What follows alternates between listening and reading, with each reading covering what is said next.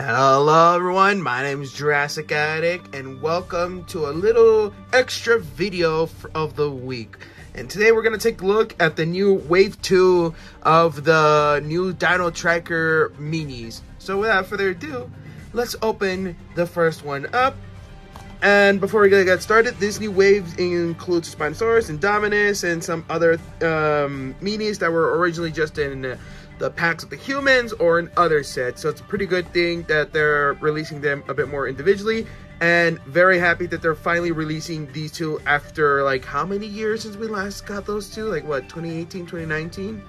So very, very happy. And I mentioned that I really, really, really love the minis because they're uh, good practice to customize. And hey, you get you, you get a little mini dinosaur. So hey, win-win. So without further ado, let's open the first one up and it is the Majungasaurus and Nasutoceratops. Now, I already have these two because they were in the previous wave of the Dominion um, mystery boxes. So, definitely gonna paint these up. Or when next time I do a giveaway, they will be included for free. But yes, very, very cool. And also, oh, the Nasutoceratops has articulation. So that's cool. So its head can spin that way, up and down.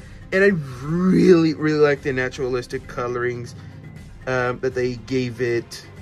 And it's a brand new mold. It's not the male Nasutoceratops from the Dino Rival toys. It's like the, it's the female one. And another thing I really, really love about the mini dinosaurs, it's all rubber.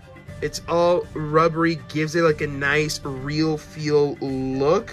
So that's pretty cool. Majungasaurus to Majungasaurus, obviously, nothing special there. The paint job is uh, minimal and honestly just really not a big fan of the of the this Majungasaurus design.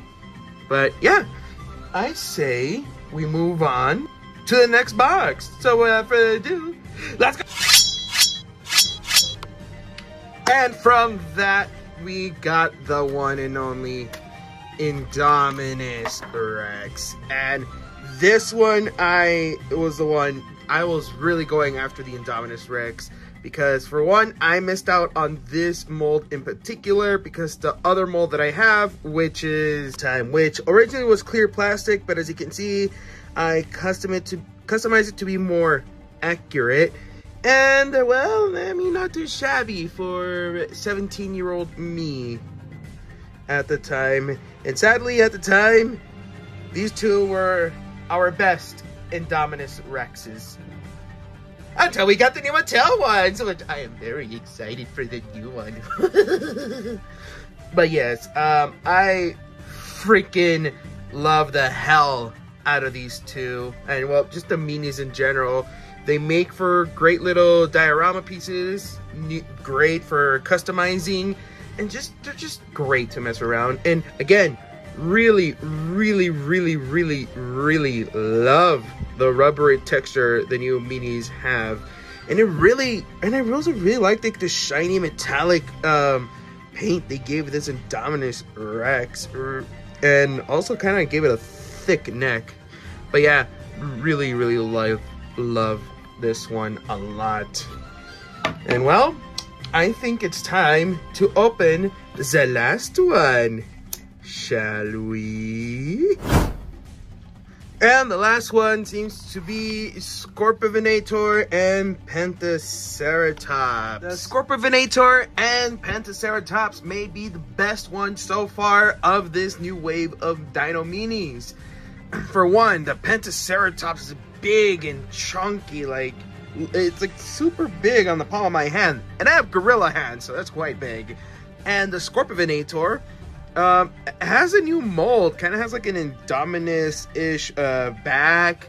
I love the green that they gave it, the yellow eye, a lot of, and I do mean a lot of color compared to uh, Majungasaurus and the Nasutoceratops. And all in all, I absolutely adore these minis. I love them, love them, love them. They are they're kind of mixed in with the first wave of minis I've been noticing when I've been going to Walmart. So if you guys see a box of the minis and it has the first wave, dig around for a little bit because they're all mixed in together. And uh, before I say my final thoughts of these figure, I say we should get to size comparison, shall we? Let's. Here we have the minis with the Captivz. Here we have the minis with totally not next week's review. And here we have the minis with the one and only Captain Jack Sparrow. Yeah, all in all, the minis are great. They're they're obviously not a Hammond collection. They're not the mainline dinosaurs. These are good if you just want to have a little pocket dinosaur. Maybe you, you see a little place to take a photo with, or maybe um, you have ADHD like I do and you just want to fidget with something. but but yes, uh, highly recommend these. These are fantastic for what they are. Um, well, though personally kind of prefer the Captivz, but but yeah, these are great. They're great for customizing. They're great for dioramas, and they're great for taking everywhere. All in all, four out of five. And yeah, I've been Jurassic Addict. Hope you enjoyed this video. And a happy Easter to all of you. Hope you're having a wonderful day. Like, subscribe, and I hope you guys have a wonderful day. Adios!